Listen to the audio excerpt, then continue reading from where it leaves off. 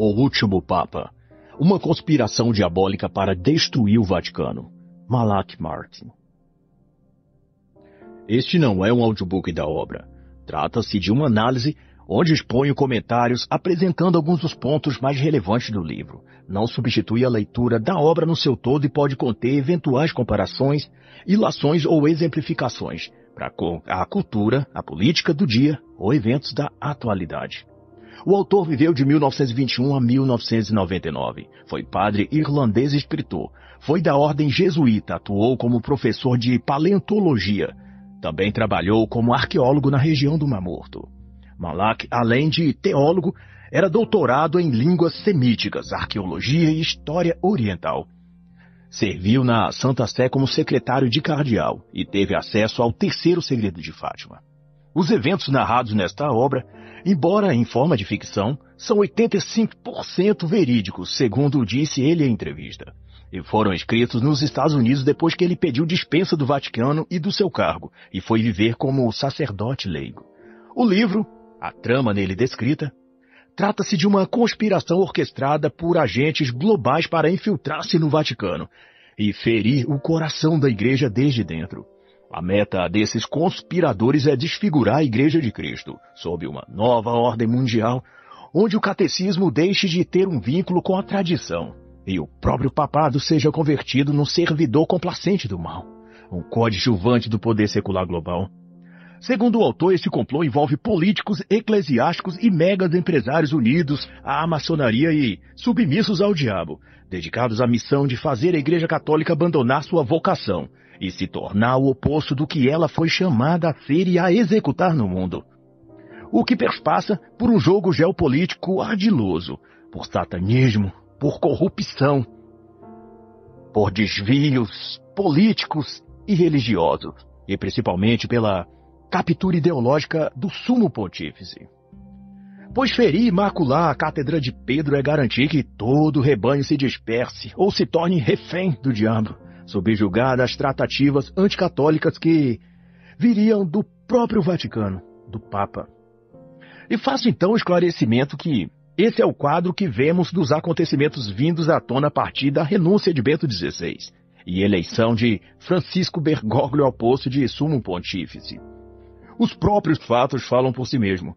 Bento alega uma doença para sair do cargo e Bergoglio passa a dialogar com tudo que é contrário à fé e à santa tradição apostólica. E Malak Marty publicou essa obra em idos dos anos 1990. O Papa ainda era João Paulo II, que iria até 2005. Mas, incrivelmente, as coisas descritas por Martin traduz tudo o que se seguiu desde a posse de Bergoglio ao cargo. Houve o empenho desde então de alinhar a igreja às doutrinas satânicas do comunismo, dando cada vez mais espaço à teologia da libertação e abraçamento dos preceitos e discursos marxistas de inclusão e justiça social, minorias, tolerância religiosa aos LGBTs, etc. E que teve seu auge em 2023 com a presepada do Sínodo Sinodal, onde ele, Bergoglio, na prática, assumiu ser um antipapa, depondo abertamente contra os mais santos e católicos dogmas da Igreja, reavivando a perseguição à mista tridentina iniciada no Concílio Vaticano II. Punindo padres que permaneçam fiéis aos ritos da piedade e do catolicismo, como foi herdado dos apóstolos de Cristo. Como foi o caso da destituição do bispo de Tyler, no Texas, nos Estados Unidos, também de Joseph Scritland, em novembro de 2023, demitido pelo Papa porque ele era devoto e católico demais, um conservador da moral e princípios cristãos. E por seu bom serviço, estava influenciando muitos, principalmente jovens dos Estados Unidos, a encontrar a fé e se tornarem católicos fiéis. Mas para Bergoglio, isso é um insulto à igreja sinodal, a outra igreja, inclusive liberal, que ele quer colocar no lugar da Santa Igreja Católica Apostólica Romana. Mas também no Brasil, leigos e sacerdotes são perseguidos e afastados de suas paróquias quando assumem as posições dogmáticas que a igreja sempre ensinou. Porque para Francisco a igreja deve agora ser moderna, sinodal. Que significa abandonar os ritos e tradições milenar e abrir as portas para o mundo LGBT, de gênero, de casamento do mesmo sexo, ordenação sacerdotal de mulheres, abolição do celibato para padres, do sacramento da confissão, do uso da batina, etc, etc. Definitivamente, a Igreja de Bergoglio e o próprio Vaticano, desde o seu pontificado, é outra. Talvez essa que o padre Malak descreve no seu livro. E não por menos, no original, esse livro foi chamado pelo autor de A Casa Varrida pelo Vento. A casa é o Vaticano e o vento, as conspirações que estão a passar por lá. E a narrativa de Padre inicia com a ocorrência da assinatura do Tratado de Roma de 1957, que institui a chamada Comunidade Econômica Europeia, e que foi a primeira versão do que depois veio a ser a União Europeia. Naquele momento, assinaram um acordo de cooperação política, científica e econômica. Representantes da Alemanha Ocidental, França, Itália, Bélgica, Países Baixos e Luxemburgo, que entrou em vigor um ano depois, em janeiro de 1958. E na década de 1980, outros países passaram a integrar, como Inglaterra, Espanha, Dinamarca, Portugal. E nos anos 1990, a comunidade europeia passou-se a chamar de União Europeia. E em 1999, pelo menos 19 dos cerca de 27 países passaram a ter o euro como moeda comum entre eles. Mas como destaca o autor, essas protuberações na Europa eram o início e vanguarda de um movimento maior e global, o estabelecimento de um novo centro de gravidade no mundo, que então viria a ser nomeado de nova ordem mundial e gerido por forças políticas, mas também espirituais. No Palácio Apostólico da Colina do Vaticano, como parte do rito da cerimônia de assinatura do tratado entre os seis países inicialmente, o Papa recebeu os ministros representantes desses países membros do acordo, e como era de se esperar, alguns deles apenas ajoelharam-se para receber a tradicional bênção papal, mostrando o antagonismo que passariam a ter para com a Igreja. Era o início formal da guerra cultural do secularismo contra a Igreja e contra os cristãos. E tendo encerrado o evento e os seis diplomatas se retirado, um amigo assistente e braço direito do Santo Padre perguntou-lhe o que ele achava. Se aquela nova ordem europeia teria condições de enfrentar o movimento comunista liderado por Moscou. No que o pontífice disse que o inimigo continuaria a ser o marxismo, mas que ele agora mudaria de mãos. Seu epicentro seria a Europa e a América. De qual Europa o senhor se refere? Perguntou confuso o assistente do Papa, achando se tratar de alguns países específicos. E o chefe da Sé respondeu: a Europa que nasceu hoje com esse acordo.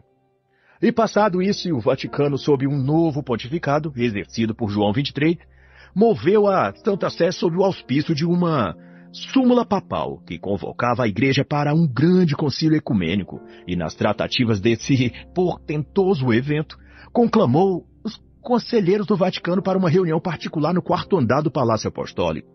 Ali estavam cardeais, bispos e monsenhores da Secretaria de Estado, além de tradutores e intérpretes. A reunião era para tratar de uma carta. A carta contendo o terceiro segredo de Fátima, revelado às três crianças camponesas de uma humilde aldeia de Portugal em 1917. Lúcia, a mais velha, e que mais tarde havia se tornado freira enclausurada, revelara dois dos três segredos da Virgem Santa que lhe aparecera. Mas, como instruído a ela, o terceiro segredo deveria ser lacrado numa carta, e somente publicado pelo Papa que estivesse reinante em 1960, e que esse mesmo Papa organizasse uma consagração mundial da Rússia à Virgem Maria, e que essa consagração deveria ser realizada por todos os bispos do mundo no mesmo dia, cada um em sua diocese, usando as mesmas palavras. E Lúcia dissera que, se a consagração fosse feita, a Rússia se converteria e deixaria de ser uma ameaça. Porém, se o ritual de consagração não fosse cumprido, a Rússia espalharia os seus erros pelo mundo. Haveria muito sofrimento e destruição, e a fé da Igreja e os seus dogmas seriam corrompidos. Mas, no entanto, o Papa objetou que desde 1959 estavam em negociações delicadas com a União Soviética e que dois prelados da Igreja Ortodoxa da União Soviética iriam comparecer ao Concílio Vaticano II. Se ele obedecesse ao dito na carta e declarasse publicamente que a Rússia estava cheia de erros funestos, toda sua iniciativa para os soviéticos viria à ruína. Isso seria apontar o dedo contra o regime marxista e provocar retaliações para as nações do Ocidente. Para João 23, aquela era uma escolha de consequências graves geopolíticas. E ele optou por cumprir seu próprio desígnio do que obedecer a Deus. E rapidamente os vassalos destituídos de espiritualidade passaram a relativizar toda a situação. Diziam que a irmã Lúcia era muito nova quando ouviu a mensagem da santa e pode ter se confundido com algumas palavras. Outros afirmavam que já se tinha passado muitos anos, que o contexto global mudou, que aquilo não precisava ser interpretado ao pé da letra. E por aí vai. E no desfecho final concluiu o pontífice que Questo non è per i nostri tempi, isto é, isto não é para uma época como a nossa. E como consequência da desobediência a Deus, o inferno veio assoprar seu hálito de morte e de discórdia sobre o mundo e sobre a igreja. Em junho de 1963, a própria cidadela católica romana tinha já sido enredada pelo mal diabólico, e nessa data, o calendário satânico determinou o nomeamento do anjo decaído. O calendário satânico determinava o momento propício para o rito de entronização do arcanjo Lúcifer. Nos textos da tradição satanista, havia uma profecia sinalizando que o tempo do príncipe deles teria introduzido no momento em que um papa tomasse o nome do apóstolo Paulo. E para eles, esse tempo propício havia iniciado com João 23. E escolheu-se então uma data para a cerimônia complexa que entronizava e consagrava aqueles tempos da história e aquele local à autoridade de Lúcifer e optou-se por realizá-la no dia da festa de São Pedro e São Paulo no Vaticano, que ocorre no mês de junho todos os anos. Na ocasião da solenidade, há muitas celebrações, convidados e participantes de todo lugar. E uma cerimônia do tipo que queriam fazer os satanistas teria mais chances de não chamar a atenção para os seus detalhes anticristãos. Da celebração da ascensão do príncipe, como revela o autor, que se chama o Ritual de Consagração de Lúcifer, os elementos tradicionais da missa católica são invertidos e simbolicamente sugerem o propósito pelo diabo de profanar o que é sagrado, inverter a cruz e seu significado, violar a dignidade e sacralidade dos dogmas e substituir a inocência pela corrupção. E por isso há nesses ritos um animal novo a ser sacrificado, representando uma criança, a inocência destruída pela adaga de Lúcifer. E há rumores de que já houve ocasiões onde se apresentou crianças reais para serem sacrificadas. Para os satanistas, esse evento solene demarca o sacrilégio ritual, em que a graça, o arrependimento e o perdão concedido por Deus e liberados por meio das ações da igreja sobre a terra são transtornados e o oposto disso passa a jorrar dos lugares onde essas virtudes e valores eram antes transmitidos. A ascensão do príncipe, ou de Lúcifer, assegura que a posse da chave do mundo espiritual não estivesse mais com o substituto de Pedro, o chefe da Santa Sé e líder da igreja aqui na Terra, o Papa, mas a partir de então nas mãos do próprio Lúcifer, a abominação da desolação. O pentagrama, as velas negras das vítimas sacrificiais, o vaso de ossos e os ornamentos em geral, como diz o autor, precisam estar nos devidos lugares antes da meia-noite, onde começa o ritual. E naquela data estava tudo impecável para venerar e para receber o príncipe das trevas. E a estratégia por trás de tudo aquilo, como deixa claro Malak Mart, não era destruir a instituição eclesiástica da Igreja Católica, ao ponto de ela não mais existir, mas sim esvaziá-la de sua essência e desviá-la de sua vocação ao nível dela assimilar inteiramente os pressupostos da nova ordem mundial e, em lugar dos assuntos espirituais, priorizasse e representasse apenas os interesses humanos. Ela passaria a estar limitada tão somente aos objetivos humanistas ou humanitários, como realmente veio a ser, eu fazendo essa observação, depois que o Concílio Vaticano II quebrou a ponte da Igreja com a sua tradição, a começar pela instituição da missa nova, das mudanças da liturgia e na própria forma de manusear os elementos da Eucaristia e de dar e receber a comunhão pelo rito da hóstia sagrada e concomitante a isso, a politização das homilias e toda a doutrina social da igreja sendo obliterada para absorver os princípios da ideologia marxista disfarçada em comunidades eclesiais de base, as SEBs, que são acampamentos progressistas dentro das atividades da igreja. E em 2023 aprova Francisco oficializar a tomada comunista da igreja, propondo o sino do mais vexatório que jamais se promoveu, abraçando de vez as ideias LGBTistas, feministas, de gênero e tudo mais. Doravante isso, o cerimonial de entronização do maligno tornou seu curso e, após todas as invocações devidas e todas as pontas do pentagrama acesas, o corte foi feito no animal, a vítima perfeita sofredora, e o dirigente da cerimônia bradou. O príncipe deste mundo será entronizado nesta noite, na antiga cidadela, e de lá ele criará uma nova comunidade. E o canto que se seguia ao desfecho da celebração dizia em sua letra: Eu te levo comigo, vítima pura, eu te levo para o norte profano. Eu te levo para o cume do príncipe. Pedimos-te, Senhor Lúcifer, príncipe das trevas, receptor de todas as nossas vítimas, que aceite nossa oferta para o cometimento de muitos pecados. E outras partes dessa oração são feitas fazendo menção à montanha ou ao topo da montanha, e embora o autor não comente isso, eu observo estreita relação para com o fenômeno ocorrido no cume do Monte Armon, no qual a descrição do livro de Enoque faz de que foi no topo dessa montanha que Azazel e os duzentos anjos caídos que o seguiram pactuaram para fazer rebelião a Deus e corromper a humanidade, fazendo ocorrer daí toda a grande perversão que desencaminhou o gênero humano de vez e resultou no dilúvio de Noé, a fim de extirpar o ser humano da terra, à exceção de Noé e sua família. Acredito que essa parte do rito esteja se referindo a esse momento e lugar onde Lúcifer determinou corromper o gênero humano em afronta ao Deus Criador.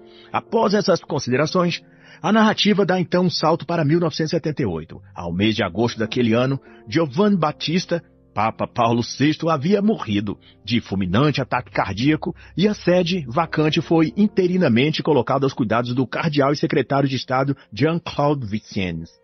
Era ele quem cuidava dos assuntos papais e era quem decidia muitas coisas relativas ao pontificado, mesmo quando o Papa estava em vida. E seu empenho a partir de então era para que o próximo chefe da Santa Sé não desfizesse tudo que os devotos do príncipe deste mundo, infiltrados em cargos eclesiais, tinham construído.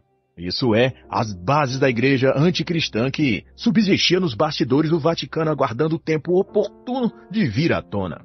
Há pelo menos 20 anos que o cardeal Vincent e seus comparsas trabalhavam nas sombras para gerar a nova igreja e o novo papado, que seria humanitário, humanizado, mas destituído de espiritualidade e sem a autoridade de Deus. E uma das coisas mais relevantes que Malak Mark diz linda aqui é o fato trágico e triste de que, no novo tipo de igreja que os traidores dentro do Vaticano tentam criar, não falaria o sumo pontífice mais em a igreja ser portadora da verdade ou da revelação espiritual de Deus. Ela, no máximo, iria se posicionar como uma das muitas manifestações da verdade e da presença de Deus. Mas todas as outras vertentes religiosas também expressariam a verdadeira fé e apostolado de Cristo. E isso remete ao caso, isso eu ponderando, de que Bergoglio parece cumprir isso à risca. Desde o seu pontificado, ele celebra missas junto a pajés, mães ou pais de santo, ou participa de rituais pagãos indígenas, além de coadunar com bispos e padres que rezam missas mistas, dividindo o espaço da igreja com sacerdotes do candomblé ou de religiões orientais. Isso significa que, do seu ponto de vista, todos têm a verdade e todos os ritos espiritualistas provêm de Deus. Ele até evita usar o nome Jesus e dizer que ele é Deus e Senhor. E cobrado acerca disso, disse ele uma vez que é para não constranger os irmãos de outras crenças, como os muçulmanos e outros que não têm a Jesus como Deus. Ou seja, ele prefere a aprovação humana do que a verdade de Deus. Parece Pedro negando a Cristo três vezes. Mas, para a tristeza de Vincent, o cardeal enganador o conclave papal elegeu alguém oposto ao que ele pretendia. Consta que, após o conclave e ao sair o resultado, ele se retirou às pressas e visivelmente abalado e contrariado para os seus aposentos. Ele não fez questão alguma de disfarçar seu aborrecimento e reprovação ao então novo Papa eleito, Sua Santidade João Paulo I. No entanto, por motivos mal explicados, o Papa, João Paulo I, recém-eleito, veio a óbito 33 dias após ter assumido ao cargo, e João Paulo II o sucedeu no conclave de outubro de 1978. Quanto ao então secretário de Estado cardeal Vincent, Sua preocupação no momento era que, por algum misterioso fenômeno, o evento blasfêmio de entronização de Lúcifer realizado em junho de 1963, em paralelo ao rito de posse do à época Papa eleito Paulo VI, fora documentado e delatado por meio de uma carta selada endereçada ao Papa posterior, que veio a ser João Paulo I, e ao que sugeria a aparência da carta, seu lacre tinha sido rompido e o conteúdo lido e depois novamente posto em um novo selo papal e reendereçado com data do dia anterior à morte de João Paulo I ao novo Papa que viria a ser eleito. Vincent preocupava-se, pois parecia haver um espião entre eles, e tudo que planejou e arquitetou durante anos podia simplesmente derruir-se, acaso o novo Papa tomasse conhecimento do conteúdo da carta e decidisse agir contra eles. Não obstante, cerca de cinco meses depois, o cardeal Vincent sofreu um acidente automobilístico no sul da França e faleceu. Após esse ocorrido, a preocupação do substituto de Vincent, no cargo de secretário, o cardeal Mastroianni, era que, apesar do Papa eleito ter proclamado a viva voz logo após sua posse que ele era o defensor do espírito do Vaticano II, na prática o novo Papa fizera pouco para expandir os reais tratativas do Concílio Vaticano II. Todas as potenciais mudanças previstas pelo concílio e aguardadas por aqueles lobos em pele de ovelha que queriam destruir a igreja de dentro para fora ainda não tinham ganhado a propulsão que deveria, posto que o Papa não fomentava tão empenhadamente aquelas proposituras. Ou seja, se o Concílio Vaticano II era uma caixa de Pandora, ela ainda permanecia fechada e não tinha ainda escapado por suas frestas mais do que alguns monstrinhos menores. Assim como no seu predecessor, Maestro Iane tinha o ávido desejo de se repercutir no mundo católico, a anti-igreja evocada no concílio e que romperia com a tradição milenar do catolicismo romano. E esse com certeza era um dos preceitos empoderados pelo príncipe profano entronizado anos atrás na cerimônia satânica da qual tantos falsos bispos participaram. No entanto, ficava visível que aquele Papa não cederia em questões de moral e doutrina, e o teste foi alguns cardeais, como o maestro Ione, tentar incentivar o Papa a flexibilizar o celibato para padres e a ordenação de mulheres, coisas que feriam um fundamento doutrinal muito sério da Igreja de Cristo. João Paulo II não sancionou nenhuma dessas mudanças e ainda solidificou a posição da Igreja contra o aborto em quaisquer circunstâncias o que mostrou, para indignação dos maçons infiltrados na Santa Sé, que a Igreja Católica Romana podia estar ferida, mas não estava morta. E com isso, os objetivos da nova ordem não tiveram o êxito que imaginavam no pontificado deste homem. Mas o próprio Carol Wojtyla, o Papa João Paulo II, deixou escapar numa de suas viagens a um dos seus fiéis escudeiros que, quando chegaram as horas finais do conclave em outubro de 1978, que o elegera Papa, um dos envolvidos na alta hierarquia e organização do conclave disse-lhe em reservado: Se você aceitar ser feito Papa, você estará na linha que separa uma era que está terminando de outra que está começando.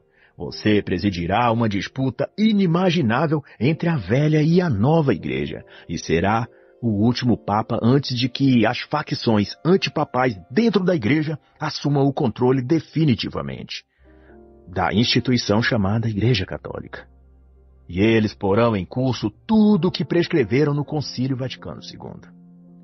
E segundo o relato, no momento em que ocultasse a indicação para a Papa, se tornaria chefe de uma igreja burocraticamente comprometida com uma agenda sociopolítica global e alheia à missão espiritual da igreja. E o cardeal que conversava com Paulo II, antes dele receber esse nome e título, dizem também que a organização eclesiástica e a vida pública da Igreja Católica, como se conhecia até o século XX, já havia sido extinta, e temia-se que as mudanças já colocadas em curso fossem irreversíveis.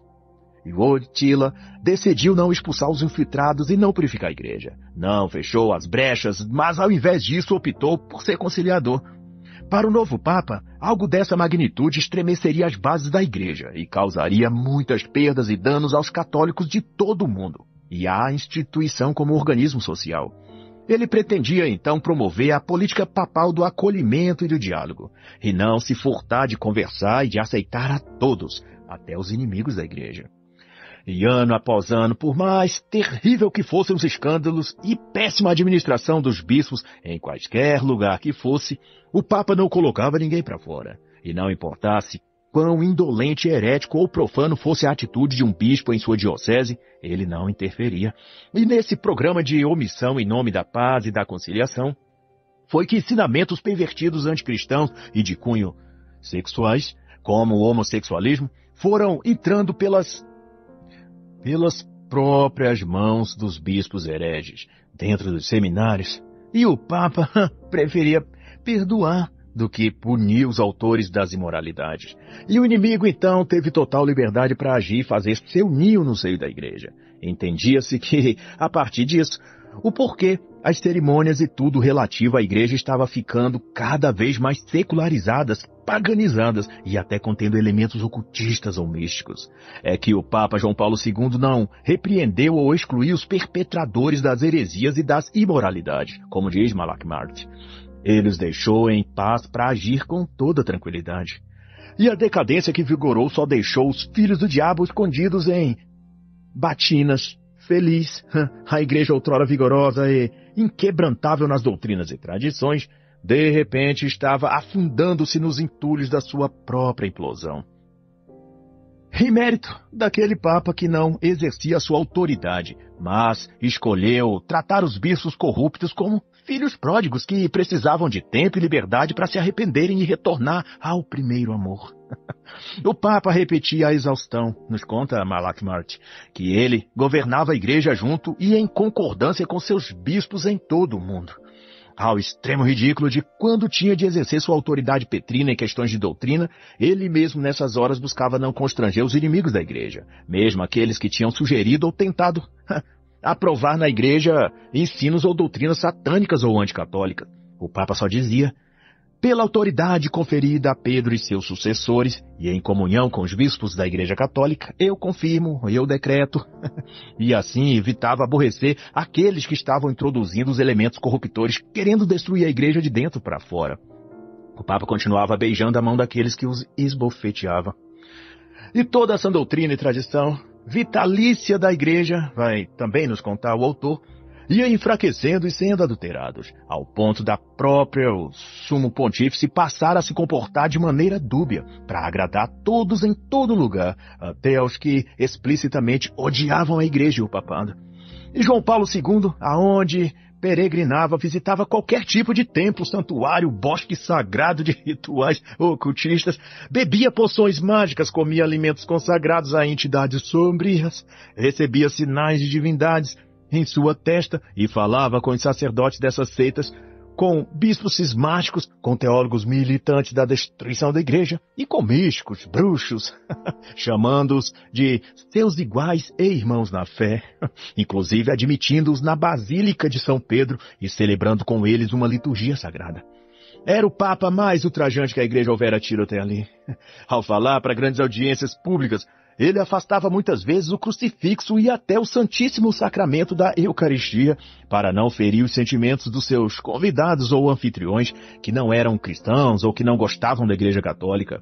Ele evitava também se referir a si mesmo como católico ou chamar a Igreja Católica de verdadeira e santa. Preferia usar termos vagos e expressões relativistas para manter uma imagem acolhedora, ecumênica e secretista diante dos algozes da cristandade que queriam destruí-la. Aquele Papa ofereceu tudo de bandeja para os inimigos da igreja, e estes só se queixavam de que, para ficar perfeito, o Papa só precisaria parar de falar contra o aborto e condenar a homossexualidade. O resto estava tudo perfeito.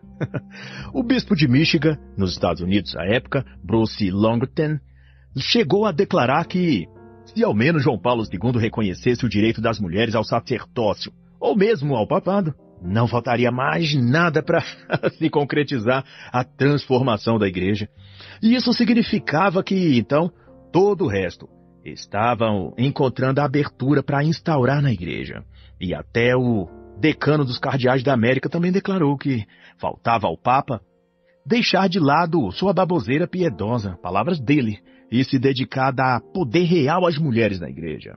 E foi assim que maus cardeais, sob os auspícios maçônicos, passaram a tramar a remoção daquele pontífice. E a primeira iniciativa foi fazer um levantamento mundial entre todos os quatro mil bispos espalhados pelo mundo, a saber, o quanto apreciavam ou desprezavam o atual chefe da cátedra. Se queria articular uma remoção sem perder o apoio dos bispos de suas dioceses, então tudo teria de ser feito com muita prudência e calma, mas a prerrogativa era a de forjar um consenso sobre a necessidade de removê-lo do cargo.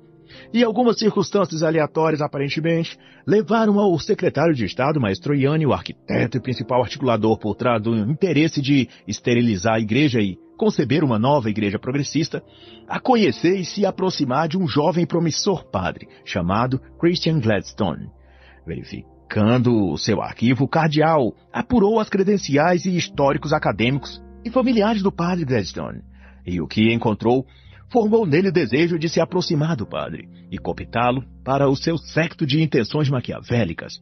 Gladstone era norte-americano formado com louvor em teologia e filosofia. 39 anos de idade e 12 de sacerdócio contando seus anos de estudo. Estava lotado na Diocese de Nova Orleans, nos Estados Unidos, e frequentava a Universidade Dominicana no Vaticano a fim de colar grau em um doutorado, e nos Estados Unidos atuava também como professor no Seminário Maior de Nova Orleans. Contudo, o cardeal secretário achou um inconveniente em seu currículo que quase o fez desistir de aproximar-se o padre Gladstone do seu clubinho de clérigos da nova igreja. E foi o fato de que Gladstone, como constava num dos arquivos da sua pasta, apreciava e assim rezava a tradição da missa tridentina.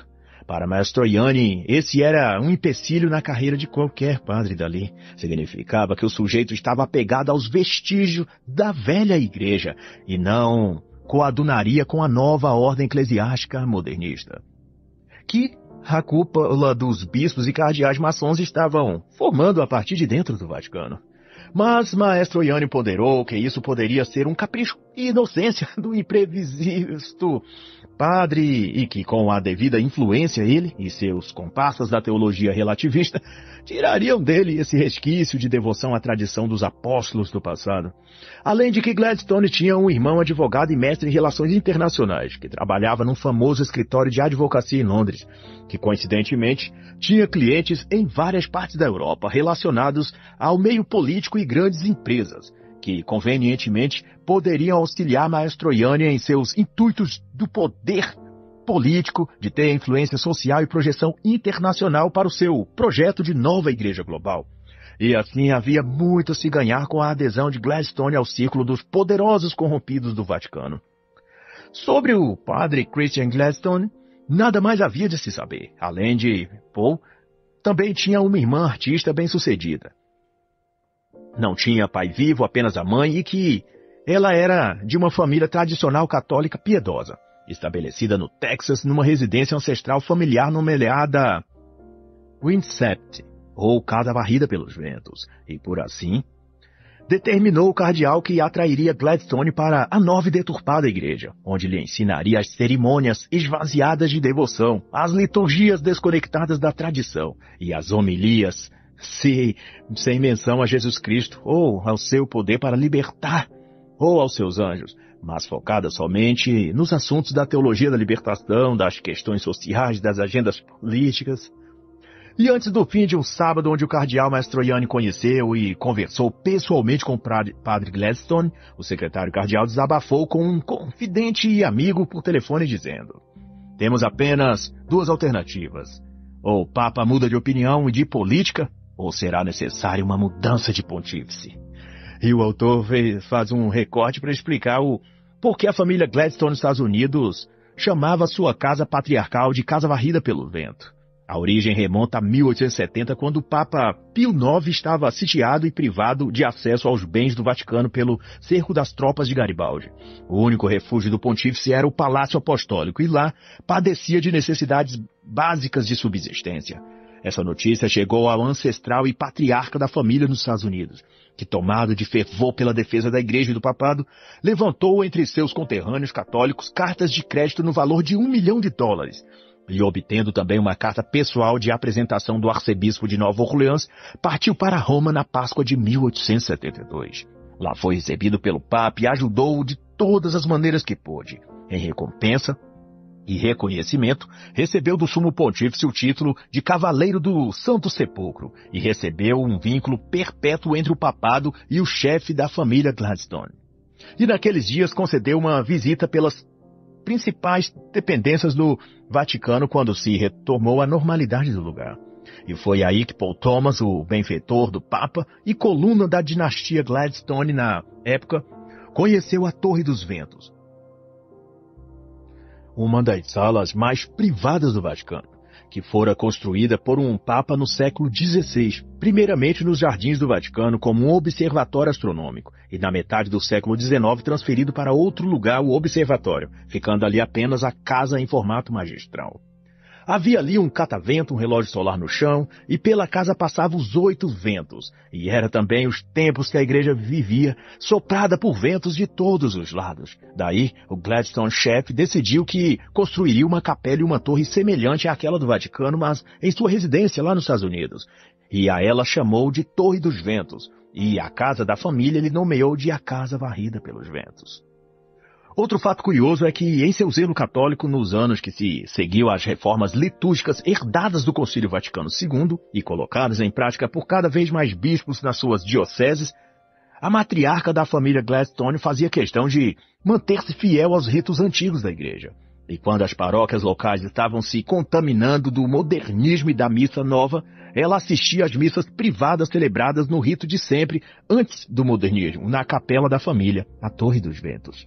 E quando isso não possível de manter devido ao número de famílias que queriam participar das missas nos ritos tradicionais da missa tridentina, a família resolveu então comprar uma velha capela em Dunbury, ou seja, propriedade pertencia a metodistas protestantes, e buscando uma forma de oficializar aquilo e ao mesmo tempo não ter vínculos com a diocese modernista local, ela contactou com o arcebispo Marcel Lefebvre, da Suíça, e providenciou que sua capela fosse adotada pela Fraternidade Pio X.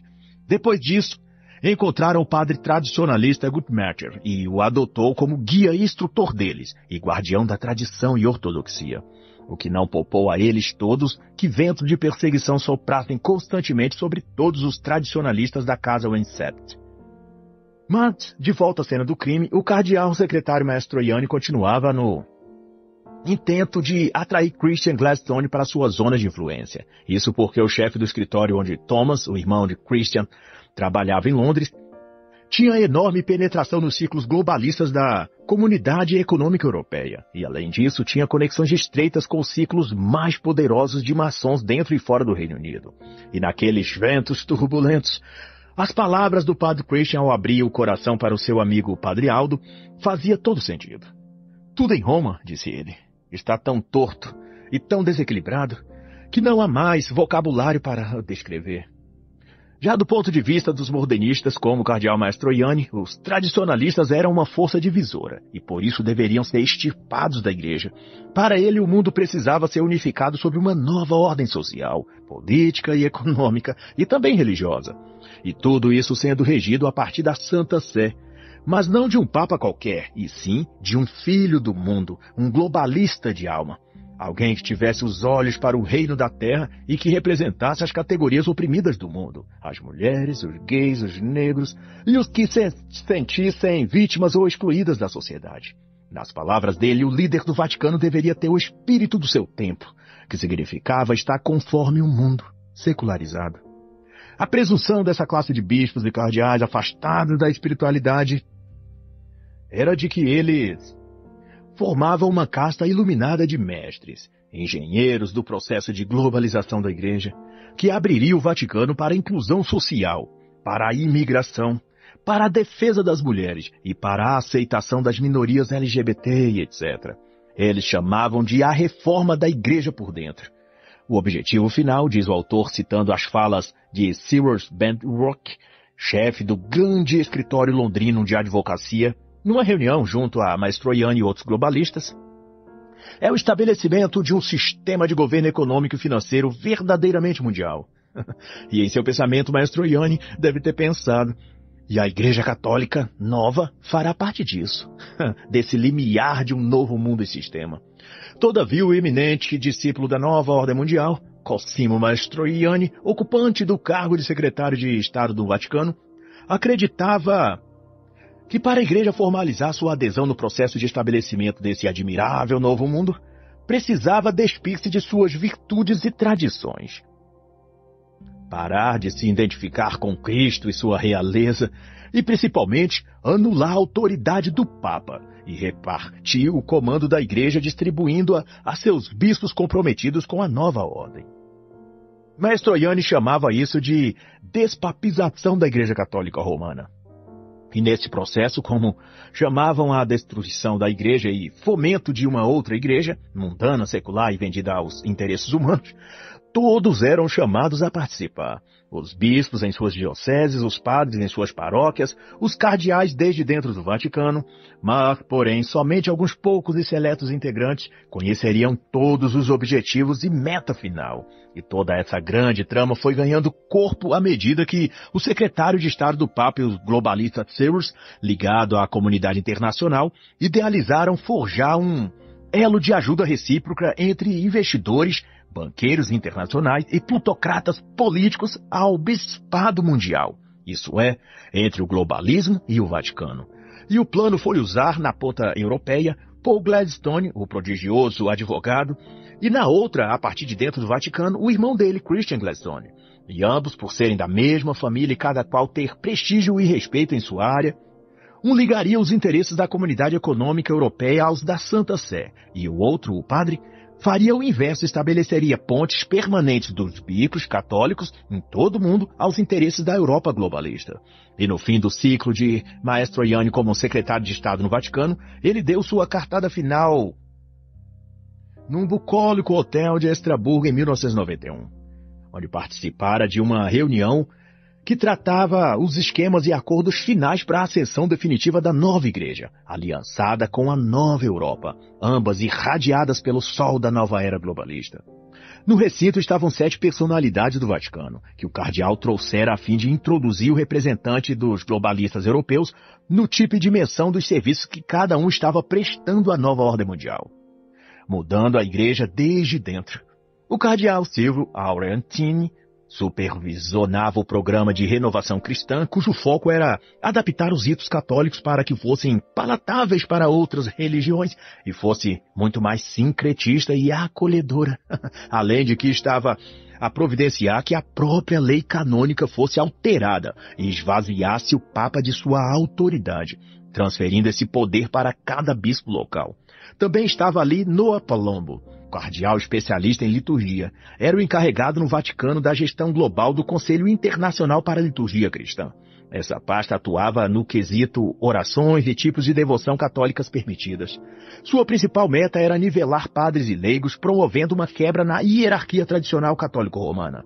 Em seguida, Maestro Oiane apresentou o cardeal Léo Passabene, mais de 20 anos de experiência como diplomata, especialista em todas as comissões em toda a igreja e também questões políticas e sociais. Era dele as estratégias de mudar a visão de uma igreja espiritual para uma igreja social. Devotada não a Cristo ou aos santos, mas às minorias sociais e à igualdade, justiça e paz, emblemas do próprio comunismo. E outros participantes eram o padre-geral da Ordem dos Jesuítas, o padre-geral dos franciscanos e o cardeal Svensson da Bélgica, amigo pessoal e confidente de Maestro Ione. E como ficou claro para todos ali, nessa empreitada um elemento chave para aqueles seus sórdidos planos era o chefe dos jesuítas, pois essa ordem tinha primazia sobre todas as outras, e há tempos os jesuítas tinham abraçado a causa da teologia da libertação. E conforme Mastroianni enfatizara, nada seria conseguido nos países da América Latina se não for por meio da teologia da libertação. E a trama maléfica desses homens ia tão longe que, sem que o Papa autorizasse, o cardeal secretário tinha tomado providências até para que a irmã Lúcia, da visão em Fátima, fosse enclausurada num convento em Coimbra e proibida de qualquer acesso ao mundo exterior. Não podia ela dar entrevistas ou receber visitas, e nem mesmo encontrar-se com o Papa ou participar de solenidades de qualquer tipo.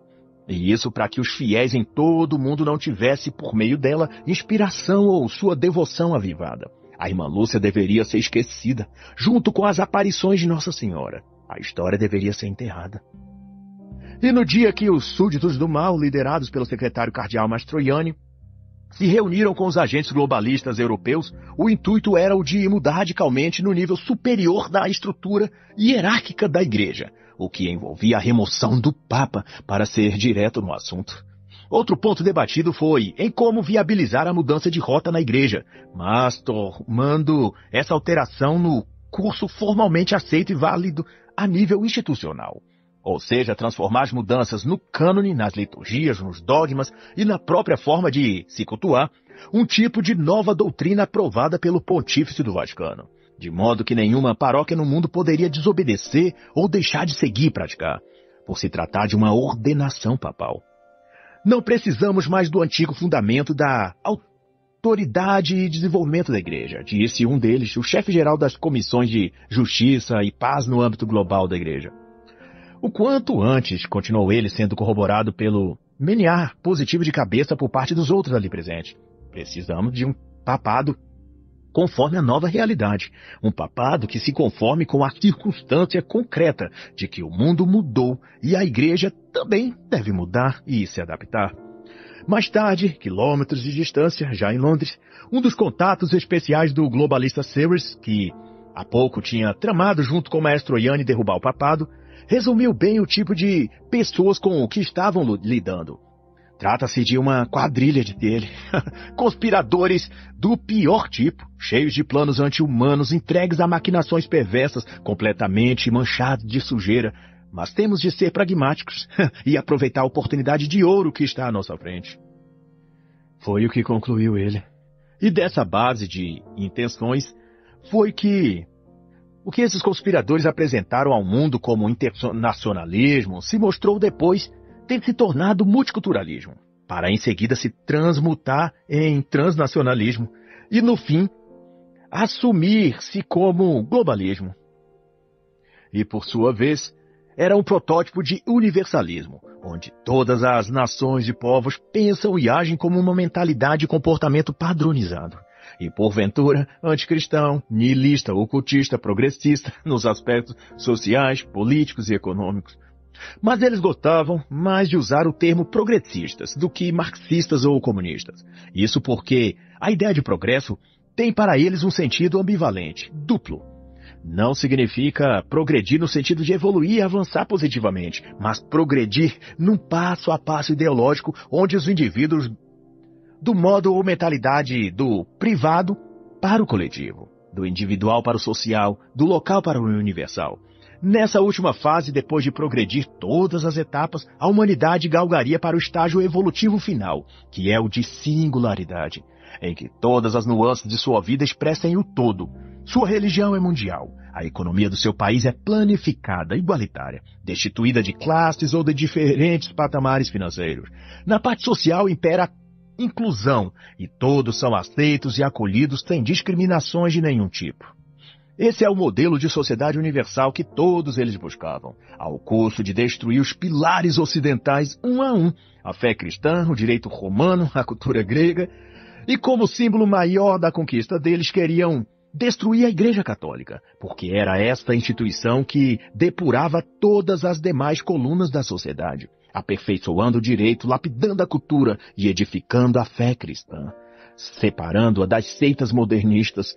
E ali foi concebido que, segundo o propósito da entronização de Lúcifer em 1963, os seguidores do príncipe deste século não mais aceitariam um papado amigo, alguém complacente a eles, mas não adepto dos anseios e planos deles. Agora eles exigiam mais que o titular do cargo máximo do Vaticano fosse um deles, alguém que tivesse os mesmos sentimentos e coração alguém que pertencesse ao antigo espírito que rodeava a terra. Eles, portanto, introduziram o Papa a renunciar ou simplesmente a vida dele estaria em risco. Para ser franco e direto, a Europa e, consequentemente, o mundo estava no processo de homogeneização econômica, política, financeira e cultural, e que os países como Estado-nação deixariam de existir. Suas bandeiras locais seriam suplantadas pela bandeira do Estado Único Global, e, no aspecto geral, determinaram que a mesma configuração deveria ter também as religiões, se diluírem e fundirem-se, tornando-se uma única religião mundial. E este movimento só poderia ocorrer se liderado pela Igreja Católica de dentro do Vaticano. O que envolvia a figura do Papa, que se tornaria o catalisador dessa transformação religiosa e desse agrupamento de fé, crenças, costumes e doutrinas espirituais. Real, Andada a carruagem, uma boa maioria dos bispos, especialmente no Ocidente, estão alinhados e comprometidos com essa nova orientação da Igreja. E as razões variavam. Alguns deles eram maçons e flertavam com sociedades secretas diversas. Outros estavam contaminados pelo mundo, tinham relações amorosas com mulheres, gostavam de frequentar boates ou casa de jogos furtivamente. E por isso, quanto mais secular e mundana se tornasse a igreja, mais à vontade eles se sentiriam para viver abertamente suas práticas pecaminosas. E havia aqueles também que simplesmente perderam a fé. E na ausência de fé, a covardia, o interesse econômico ou a conivência é o que determina seus atos e escolhas. Mas seja como for, toda aquela formidável estrutura do mal, sendo consolidada, não possuía natureza apenas econômica, social ou política, mas, sobretudo, espiritual. Mas vale lembrar que esse desfecho de intenções e planos perversos não começou com o ocorrido de Maestro Iane e seus bispos malignos com os prolocratas europeus em Estrasburgo. Mas muito antes disso, essa tramóia insana de corromper o clero católico e secularizar a igreja, transformando-a em uma instituição anticatólica, teve seu start no ano de 1962, quando Paulo João XXIII abriu os trabalhos para o Concílio Vaticano II. No próprio discurso de abertura, o sumo pontífice admitiu que os propósitos do evento era modernizar a igreja, abri-la aos não cristãos, flexibilizar as regras mais rígidas e essas coisas. Tudo que agora se via em plena execução por mãos do secretário cardeal e seus bispos adestrados em todo o mundo. E a saber, a inundação de modernismo que a igreja pós-concílio ou igreja conciliar absorveu foram liberalismo moral, liturgia anticatólica, rebaixamento das crenças tradicionais, e muitas de suas missas passaram a ser celebrações populistas de costumes locais e causas políticas e ativismo, nas paróquias, os fiéis eram convidados durante a missa a bater palmas, levantarem-se e apertarem as mãos uns dos outros, a pular como se estivessem num clube dançante. Só não eram mais ensinados a dobrarem os joelhos em reverência à presença de Deus. E não fosse trágico bastante, também nos seminários onde se formariam os novos papas, tudo ali também tinha sido infectado pelo modernismo. Os padres, professores responsáveis pelos alunos usavam camiseta e jeans. Os alunos não precisavam mais frequentar missas matinais e nem noturnas. A própria capela fora transformada em salão comum e quando nela se celebrava algo, parecia uma festa mundana, com música dançante e onde até apareciam mulheres assistentes dos padres, com roupas colantes e tudo. Tudo isso foi o que o Concílio Vaticano II tinha trazido para a Igreja e para o ambiente católico. E a pedra filosofal que germinou tanto o concílio pervertido quanto toda a enxurrada de pecados que chamou-se reforma conciliar foi a negligência e desobediência do Papa João Paulo XXIII, de atender ao que ordenava Nossa Senhora no terceiro segredo de Fátima. Não há como virar as costas para aquilo e se sair impune. Tudo que veio depois foi um efeito em cascata da desobediência papal em 1960. E para consumar esse vilipêndio, nos anos de gestão do Cosimo Mastroianni, o principal líder antipapal dentro do Vaticano, como secretário de Estado, já havia se mobilizado bispos de 82 países do mundo em torno de sua proposta de derruir a igreja e criar outra nova. E tudo concorria para, no estágio final, forjar um instrumento canonicamente válido, que finalizasse o pontificado distribuindo o poder que antes era do Papa a todos os bispos ou a um órgão ou associação que os representasse e o sumo pontífice seria mera decoração aprisionada no Vaticano. Ao invés de vigário de Cristo, os novos termos doutrinais o reduziria a vigário do Vaticano e os demais bispos em vigário, cada um de suas próprias dioceses, e cada um deles podendo decidir o que quer que fosse a revelia do Papa, que teria poder apenas no Vaticano. Os degraus para isso foi articular-se conferências, escritórios, associações ou convenções de bispos para que os agrupasse como uma espécie de sindicato dos bispos. E por meio desse consórcio manipular esses clérigos através de propinas, cargos, aposentadorias compensatórias ou a velha e má chantagem e extorsão, por meio de dossiês que exploravam as fraquezas e deslizes desses bispos. Tudo então se conformatando para que se houvesse um comitê ou departamento de bispos, independente do Vaticano, em cada país, e eles responderiam a um círculo menor de cardeais, e assim, anel dentro de anel, chegaria à fonte do máximo poder, que não seria o que detém o nome em função de Papa, mas um outro ser, alguém que responde diretamente ao próprio príncipe do mal. E também é digno de nota que toda aquela estrutura para solapar a igreja tinha proporções de nível profissionais tudo muito bem delineado a fim de que toda a teia que se formasse eficientemente fosse forte para que não fosse possível escapar dela, como veio a saber o padre Christian Gladstone, agora aliciado definitivamente em Roma, a fim de servir aos planos do ex-secretário de Estado Mastroianni. E como soube-se, o cardeal, agora chefe imediato de Gladstone, apresentou a ele diversos dossiês das dioceses e bispos que ele deveria visitar em Holanda, Alemanha, Bélgica, França, e de lá coletar tudo sobre o bispo local e suas paróquias. Quantas famílias frequentavam, quantos batismos eram realizados lá, a frequência de confissões, o número de nascimentos de crianças que havia e quantos ali sentiam-se vocacionados ao sacerdócio.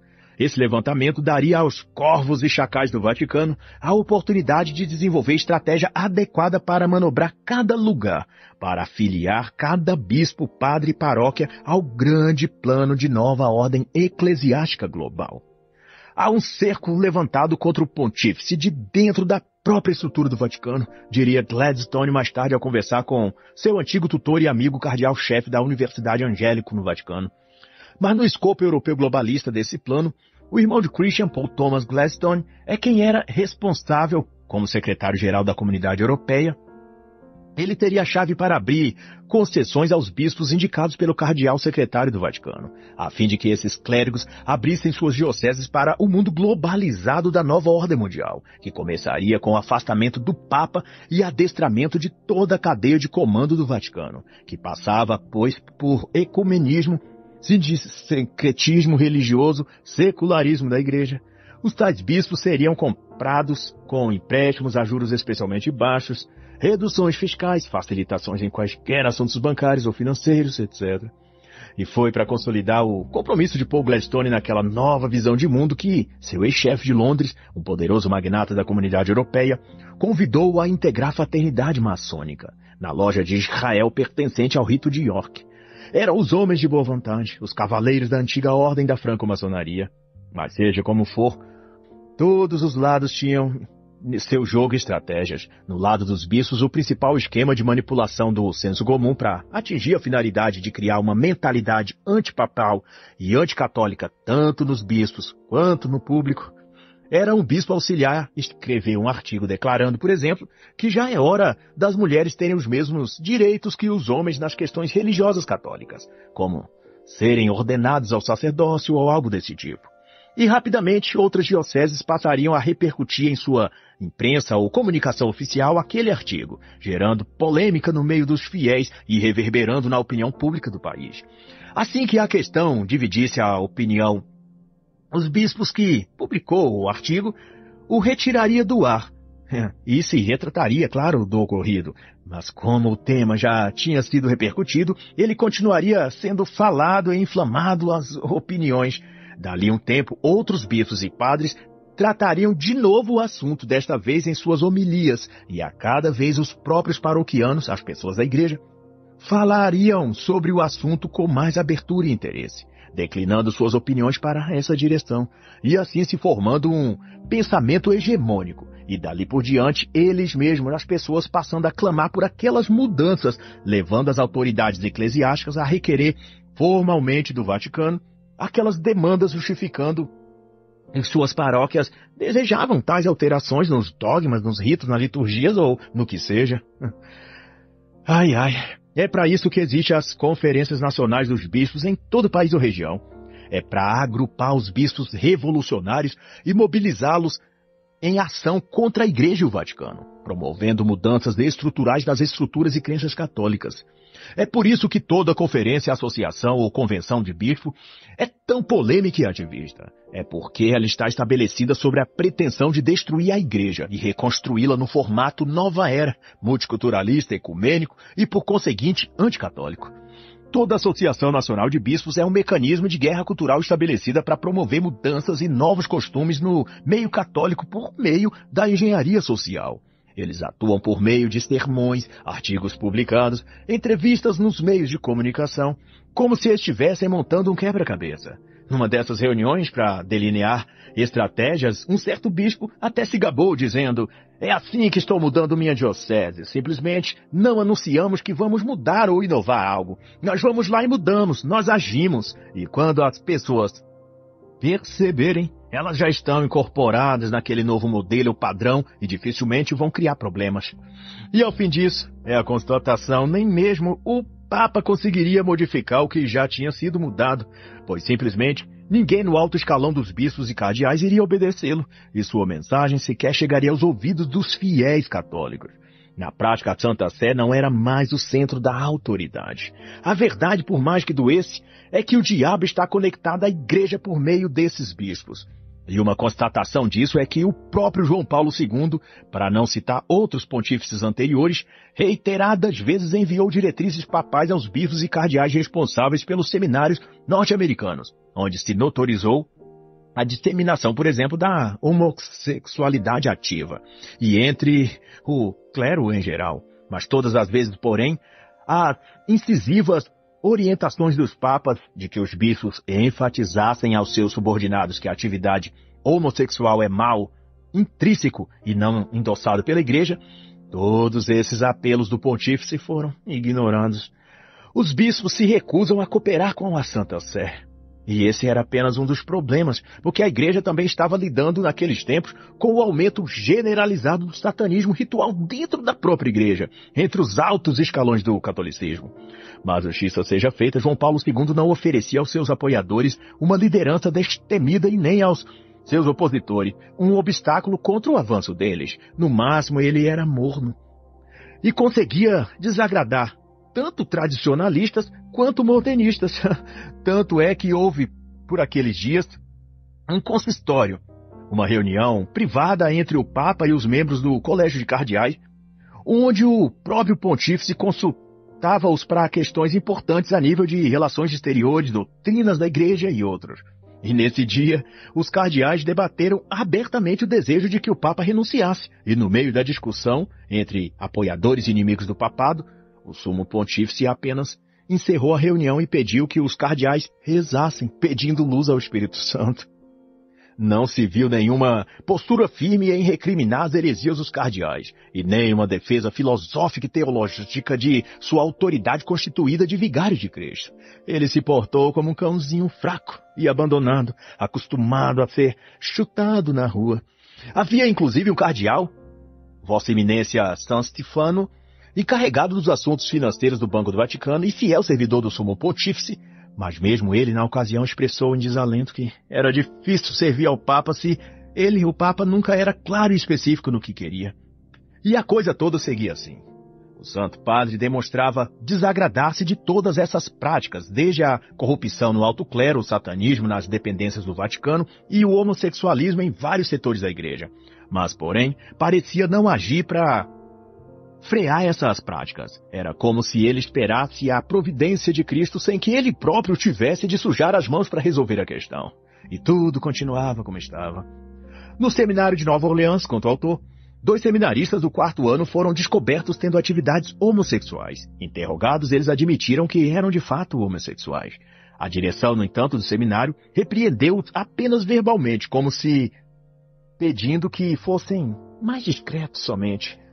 O vigário diocesano, por sua vez, que descobriu o escândalo e os denunciou, foi afastado de sua paróquia e submetido a uma avaliação psicossexual, cujo resultado determinou que o padre era psicologicamente indigno de confiança e expulso ele foi das funções e da paróquia. passando a viver de ajuda de terceiros como um pobre desamparado à beira da mendicância. Mais tarde, os homens envolvidos na atividade ilícita sexual se formaram e foram ordenados padres. E nos dias que se seguiram, a mãe de Christian e Paul Gladstone, a matriarca da Casa Varrida pelo Vento, Francesca Gladstone, refletiu consigo mesmo acerca do seu arranjado encontro com o Papa, ofertado a pedido dela em contrapartida de uma ajuda financeira prestada ao Banco do Vaticano. E no preparo da audiência com o Sumo Pontífice, ela disse a si mesmo algo que constata a grande insatisfação de todos os leigos católicos fiéis. Tudo que os católicos sentem em relação à postura do chefe do Vaticano perante essas blasfêmias e corrupções todas ocorrendo em todo lugar nas paróquias, dioceses e no próprio Vaticano. Ela disse: Eu não preciso de um papa para apertar minha mão ou tomar chá comigo enquanto discutimos amenidades. A barca de Pedro não é um barquinho num cruzeiro turístico viajando pelo litoral a admirar as paisagens costeiras. Eu preciso de um papa, afirmou ela com convicção, do qual eu me aproxime com temor, por causa da sabedoria com a qual Deus achou por bem dotá-lo. Eu preciso de um papa para venerar porque sua mortalidade e sua humildade, sua mente humana foram absorvidas pelo poder de que Deus o revestiu. Ninguém respeita ou necessita de um papa que trate a reverência religiosa com banalidade e indiferença. A queixa e grande desgosto da senhora Francesca é a que repercute no Fórum da Realidade, no coração e alma de todos os católicos fiéis e devotos pelo mundo, que é a percepção quase tangível de que estamos enfrentando um eclipse na vida católica romana tradicional e que uma força invisível e má bloqueou a luz da verdadeira doutrina apostólica, e que o próprio sumo pontífice trata a estrutura da igreja como ultrapassada e inútil, permitindo deliberadamente que ela se deteriore, sendo portanto negligente com seu ofício petrino. E como está evidente, dizia mais a matriarca Gladstone, nem os bispos, os padres ou a estrutura ordinária das paróquias e dioceses garantiam mais os fundamentos da vida católica de modo que já se faz questionável para qualquer católico decente do que de fato está servindo o ministério papal. Que colaboração o chefe da igreja está trazendo para o corpo de Cristo nessa terra? A correta ordem das coisas é que, em um mundo que está já quase totalmente desprovido de graça, a Santa Igreja Católica deve fornecer o abundante tesouro da fé, dizendo a missa romana, ouvindo confissões, e ministrando a unção aos enfermos e moribundos. Tudo sob a ordem de sacramentos válidos como determina o cânone e a sagrada tradição. Literalmente é uma nova igreja sendo construída e subvertendo o lugar da outra. Uma nova e maldita igreja, fundada na inversão da teologia e da tradição sagrada católica.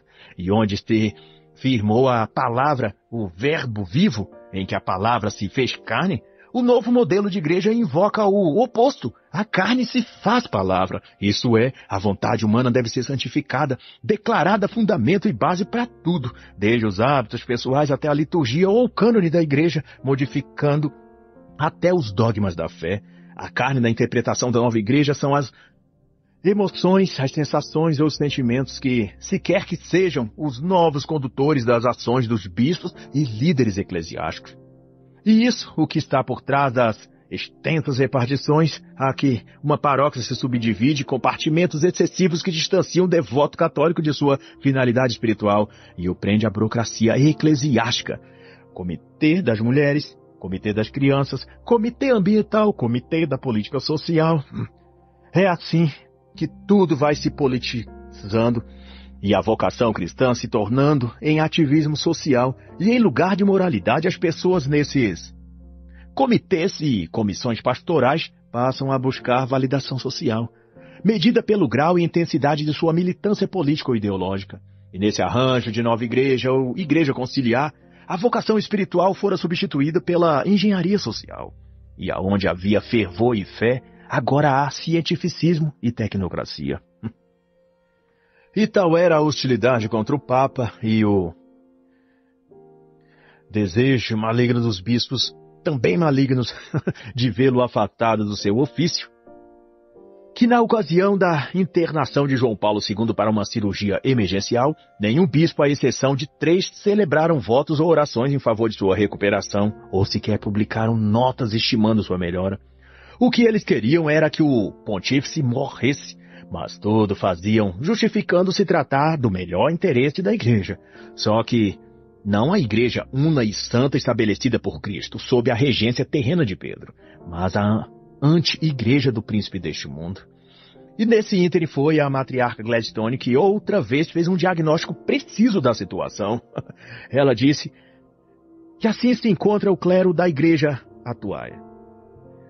Ou são homens idosos cansados, confusos e perdidos, ou são jovens teologicamente ignorantes, assanhados e modernistas, que não têm consideração pela igreja, não entendem a Eucaristia, antipapais e que eles mesmos não querem serem chamados de católicos romanos. A única autoridade que reconhece é o do conforto financeiro e dos prazeres carnais.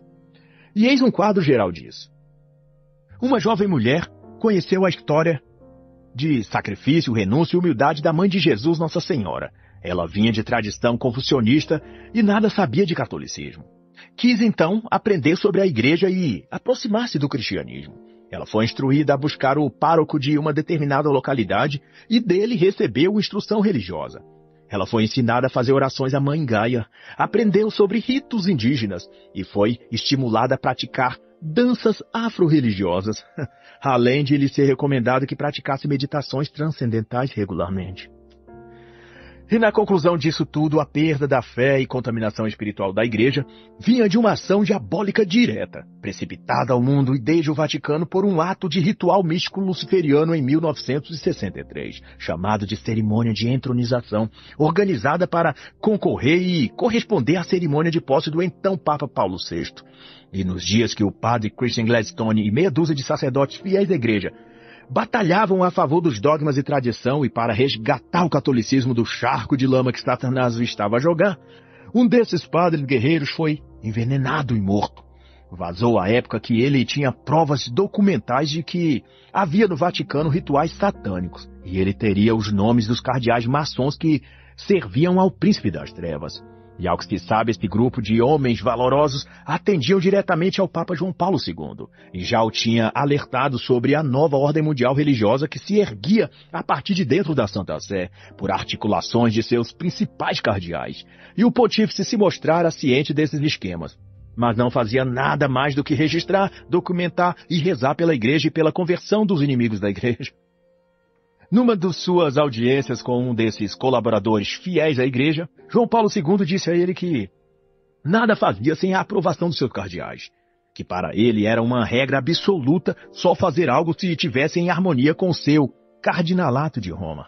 E foram esses cardeais que tanto João Paulo II queria agradar que elaboraram o documento de Successione Papali, em que validaria e regularia a renúncia voluntária ou forçada do Papa. E por que esses bispos eram tão contra o papado? É a pergunta crucial. E a razão é que os bispos queriam deslocar o poder do Vaticano para eles próprios. Cada bispo queria ser o rei vitalício de seu próprio castelo e não prestar mais obediência aos dogmas, ritos ou determinações da Santa Sé e do papado, fosse ele qual fosse. Da prática, queriam tornar cada diocese independente e cada um adotar o tipo de culto, doutrina ou extravagância que quisesse. Como se fosse uma denominação protestante, onde cada templo ou ministério, Cadeeso, Belém, Madureira, sei lá, seriam donos de suas próprias vontades e livre para criar em suas próprias teologias e regras, e inclusive administrar as arrecadações financeiras que eles teriam e tanto mais porque as doutrinas e ideais desses bispos abraçavam, apregoavam tudo que a Igreja Católica sempre abominou: o aborto, a homossexualidade, a lascívia, a luxúria, a embriaguez e os vícios de modo geral. E os bispos estavam eles mergulhados até a alma nesses pecados. Assim como a água e o azeite não se misturam, os bispos também não se sentiam representados com a doutrina santa e perpétua do catolicismo. E não deixavam outra alternativa ao pontífice a não ser a morte a renúncia ou a aposentadoria. E enquanto isso se desenrolava, o relógio do fim do papado continuava correndo, apressado, e Gladstone e os cinco padres restantes, que apoiavam o Papa e o defendiam, o alertavam dos preparativos finais que os inimigos estavam desenvolvendo para implodir o Vaticano, e numa manhã de reuniões com o pontífice, entregou-lhe um relatório completo com dois volumes de provas substanciais da rede global de pedofilia, extorsão, lavagem de dinheiro e atividades ilícitas de todo tipo nas quais os bispos norte-americanos e europeus estavam envolvidos. Mas o Papa disse não ter naquela semana tempo hábil para ler os documentos, que ele iria o fazer no outro momento. Mas naquela mesma semana, uma comitiva de bispos dos Estados Unidos iriam visitar o Papa trazendo reivindicações. Os mesmos personagens que constavam no relatório dado ao Papa, contando tudo que esses bispos estavam envolvidos lá em suas dioceses. E para um vislumbre imaginativo do tipo de pessoas que eram, basta ao leitor visualizar o seguinte quadro. Homens seculares apaixonados pelos deleites hedonistas da vida, concombinados com outros homens sem fé, mas com crenças políticas progressistas enraizadas, e esses dois grupos sendo liderados por um terceiro grupo de homens, mas estes envolvidos por um compromisso espiritual pactuado com as trevas, alguns admitidamente maçons, outros fortuitamente satanistas praticantes. Esse era o panorama do que estava a acontecer nos subterrâneos ideológicos e geopolíticos do Vaticano, e para confirmar suas pretensões e planos maquiavélicos em curso, o articulador principal desses esquemas, o ex-secretário de Estado do Vaticano, o cardeal Mastroianni, descreveu diante de Christian Gladstone, a quem ele achava que estava ao seu lado, que eles, os cardeais do mais alto escalão da Santa Sé, concubinados com os principais agentes globalistas na Europa, estavam envolvidos na transição entre dois pontificados, do antigo, que se apegava à velha igreja, às tradições ultrapassadas, e do novo pontificado que estaria sintonizado com o futuro iluminado de uma nova ordem mundial. E naquela ocasião, apenas alguns bispos remanescentes em Portugal e Espanha ainda travavam uma luta de resistência contra a nova ordem diabólica mundial. Nos demais países, incluindo o Brasil, a coisa estava toda dominada. E naqueles tempos chamavam essa nova ordem diabólica de o processo. Alguns, no baixo escalão, também a apelidavam de a mentalidade comum. E do ponto de vista dos apoiadores do papado, o que mais os entristecia não era a ousadia dos filhos das trevas, mas a complacência e tolerância do Papa. Parecia até uma conivência. E se tinha algo que certamente pesava na consciência daquele Papa, era que boa parte dos cardeais que agora conspiravam contra ele foram elevados a aquele status pelo próprio João Paulo II. Ele afiou a espada que seus algozes agora usavam para feri-lo. Dito de outra forma, o satanismo e homossexualidade que infectavam o corpo social e eclesiástico da igreja eram espalhados prementemente pelas mãos daqueles que o sumo pontífice consagrou e elevou a cargos de autoridade diante do rebanho de Cristo. E em todos os aspectos. Esses cardeais e bispos eram muito pior que o herege Martim Lutero, que apesar de dividir a igreja, Lutero teve pelo menos a decência a decência de se afastar e criar sua própria seita, enquanto que os atuais hereges continuavam lá, dentro do Vaticano, praticando suas corrupções e querendo mudar a força a igreja. Se simplesmente saísse e fundassem suas próprias formas de protestantismo, seria muito mais simples lidar com eles. E o cenário era esse. Ao menos 10% a nível global dos padres, bispos e cardeais estavam envolvidos direta ou indiretamente com satanismo e ou homossexualidade. E uma parcela sensível das freiras em conventos praticavam Wicca ou outras formas de bruxaria, além de lesbianismo. E o que o Papa havia decidido em relação a isso? Não excomungar hereges, não exonerar padres pedófilos, não demitir professores apóstatas. Sua decisão tinha sido dialogar e rezar por eles. E no decurso disso, a Imaculada Igreja Católica de sempre se abria por mãos desses bispos e cardinalato corrompidos para se transformar numa miríade de congregações protestantes independentes. Havia o anúncio até de que mulheres diaconisas estavam sendo consagradas em sigilo e que breve, quando o público católico estivesse preparado, iriam anunciar que essas diaconisas serviriam como pastoras paroquiais. Não era tudo cons tão conspiratório que o próprio Papa caía em contradição ao tentar equilibrar-se nos dois lados da balança, como querendo fazer gol nos dois times ao mesmo tempo e sair ganhando o jogo ainda. Ele mais de uma vez tinha sido categórico ao afirmar que não permitiria meninas no altar. Disse a própria Madre Teresa de Calcutá quando se reuniu com ela no Vaticano que não aceitaria mulheres no presbitério e nem meninas no altar. E chutar a bola para os dois lados do campo ao mesmo tempo costuma andar sempre errando. E nesse aspecto, vede que não se vê uma paróquia onde metade ou mais das pessoas que auxiliam a missa sejam mulheres. Se o Papa não permitiu, quem então o fez? E se a palavra do Sumo Pontífice, a Santa Madre Teresa, pôde ser quebrada, o que mais podemos esperar que também seja descumprido pelo Vaticano? E dado todas as circunstâncias e ventos desfavoráveis ao Vaticano, no anteceder de sua viagem à Ucrânia, que ocorreu em junho de 2001, o Papa João Paulo II rubricou um documento oficial de renúncia ao papado. Ele havia cedido ao jogo de poder do seu secretário de Estado, a soldo da cúpula de cardeais que, de fato, mandava no Vaticano e queriam a dissolução da Igreja Católica Apostólica Romana. E na penumbra dessa assinatura extraoficial, até que o Papa retornasse de Kiev, alguns cardeais já se apressaram a reunirem-se em conchavos e trocas de promessas em favor de sua candidatura para o próximo pontífice na Cátedra de Pedro. Eles queriam o bastão do poder, e para mais do que isso, e não obstante o satanismo e guerra declarada dos bispos contra o sumo pontífice e o papado, a própria postura dúbia e às vezes contraditórias do Papa dificultava as coisas até para aqueles que queriam apoiá-lo. Um caso em questão foi o mal-estar entre o governo dos Estados Unidos e o Vaticano, chegando a gerar um tipo de guerra fria entre ambos, em assunto geopolíticos pelo menos, e os embaixadores e negociantes que o governo americano dispunha a lidar com essas questões junto ao Papa frequentemente se queixavam de não obterem clareza e objetividade nas posições do pontífice, o que deixava a cargo de terceiros deduzir o significado do que ele quisera dizer. E a tragédia só não era pior por falta de gente para ser corrompida. Faltava mão de obra para Cristo, mas para trabalhar para Satã hum, tinha mais candidatos do que vagas a oferecer. e tal que quase no fim do ciclo daquele papado, João Paulo II reuniu-se em definitiva reunião com seu círculo mais íntimo de cardeais, dos quais sairia dali o próximo sumo do vigário de Cristo.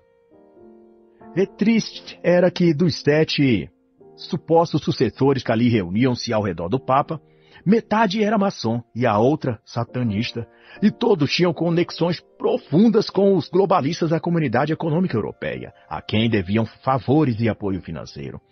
Mas não tenhamos falsas impressões. Todos aqueles de dentro ou fora do Vaticano, empossado ou não de cargo eclesiástico, com filiações políticas ou religiosas que seja, todos eles partilhavam o anseio pelo globalismo, Marionetes e servos eram, conscientes ou não, dos poderes das trevas e trabalhavam para o príncipe deste mundo tenebroso. E dada a profunda crise, escândalos e disputas internas pelo poder, no dia 6 de maio daquele ano, uma reunião especialíssima de cardeais fora convocada pelo chefe do Vaticano. E dentre os 157 cardeais presentes, uma enxurrada de dúvidas e receios se espalhavam, uns acusando o Papa de antiquado, outros o chamando de vendido ao globalismo, outros até conspurcando que ele não era um Papa legítimo. Mas só uma coisa era unânime entre todos, de que o Papa deixar abrir uma lacuna no seu ofício de sumo pontífice, e que essa brecha aberta era improvável que se fechasse. E pela razão que fosse, uma certeza impingira-se no coração de todos eles, de que aquele era o último Papa católico que a Santa Sé produziria. Quaisquer outro que viesse depois seria escolhido dentre os próprios serviçais do maligno, e não representaria mais a Igreja Católica Romana, mas as próprias forças da coalizão que serviam ao mal que queriam se apossar e reinar desde o trono de Pedro. Todavia, e apesar disso, no esforço dos cinco ainda fiéis padres que buscavam salvaguardar a igreja da derrocada total, Gladstone localizou por meio de pistas codificadas deixadas pelo padre Aldo Carneseca, antes dele ser assassinado, o seu diário no antigo envelope deixado pelo Papa anterior a seu sucessor, Paulo VI, João Paulo II. E nessa constatava uma carta detalhando em latim dia, hora e especificidades, juntamente com os nomes de todos os cardeais que tinham ingressado na maçonaria e quais tinham invocado em rituais satânicos o próprio Lúcifer. Isso num rito cerimonial em 1963 na Capela Paulina, e chamada de entronização do arcanjo caído, o príncipe ascendente ao poder. E mais ainda revelador era que, de acordo com manuscritos da antiga e alta magia, quando uma invocação dessa magnitude era realizada, o domínio das trevas naquele lugar era estabelecido. E nesse caso, apenas um ritual tão poderoso quanto, quebrando aquele feitiço e acorrentamento espiritual, poderia romper de vez ou desfazer os efeitos. E para Christian Gladstone isso explicava o porquê tornara-se tão difícil um Papa governar de dentro do Vaticano. É que havia outro ser consagrado naquele território, e isso bloqueava a maioria das ações espirituais que se tentava estender positivamente sobre a Igreja. E o representante oficial da Cátedra de São Pedro, o Papa eleito, não conseguia fazer valer sua vontade, pois havia uma cortina espiritual impedindo-o de alcançar com suas proposições e cláusulas os milhares de fiéis em todo o mundo. E tinha sido assim, no mínimo durante o reinado dos últimos quatro papas. Tudo preparado para introduzir a igreja no longo e rigoroso inverno espiritual. E quando, enfim, na sua última peregrinação em busca de um sinal do céu sobre o que fazer dali para frente, se devia desistir da luta contra as trevas ou travar sua última batalha em favor da igreja, a resolução veio através de um caminho de duas vias, apresentado a ele, o Papa, por Christian Gladstone e seus cinco sacerdotes fiéis. Ao expor ao vigário de Cristo no crepúsculo do seu último dia de peregrinação, diante das planícies no mosteiro antigo da Polônia, seus fiéis escudeiros expôs a situação. Houvera tido um ritual satânico de entronização ao príncipe deste mundo dentro do Vaticano. E como efeito, um falso conclave estava para eleger um novo, mas falso Papa, escolhido dentre as fileiras de servos de Satã, após forçar a renúncia do Papa atual. E só ele, como último Papa ainda não dominado pela maçonaria nem pelas trevas, podia retornar a Roma, guiar uma cerimônia de exorcismo, expulsar de lá as hostes do mal e tomar de volta o que o diabo roubou. O contrário disso seria ele renunciar ao cargo e se tornar recluso num voto de silêncio em um mosteiro qualquer. E pelos frutos que se seguiram, todos conheceriam qual houvera sido a decisão do Papa. E assim está escrito. E disse o Senhor: Senta-te ao meu lado direito, até que eu ponha os seus inimigos debaixo dos seus pés. Salmo 110, 1, 2. E assim encerra a análise da obra O Último Papa, uma conspiração diabólica para destruir o Vaticano, de Malak Mart.